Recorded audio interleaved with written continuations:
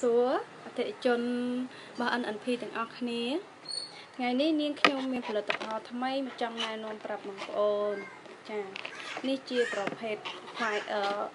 fiber ញ៉ាំសម្រក់គីឡូ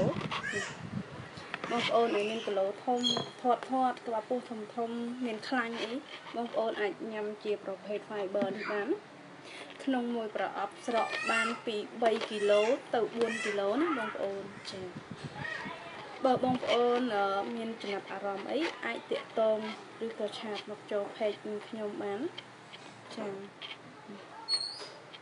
ធានាថាស្រក់បងប្អូនស្រក់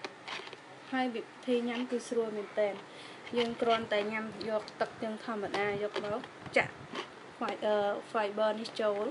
មួយថ្ងៃមួយកញ្ចប់ស្រកពិតពិតតែម្ដងចាអរ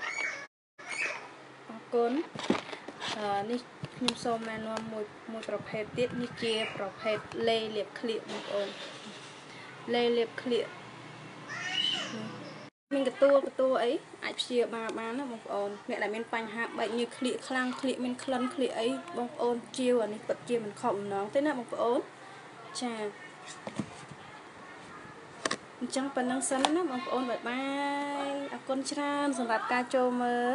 និងជួយគ្រប់គ្រងផងណា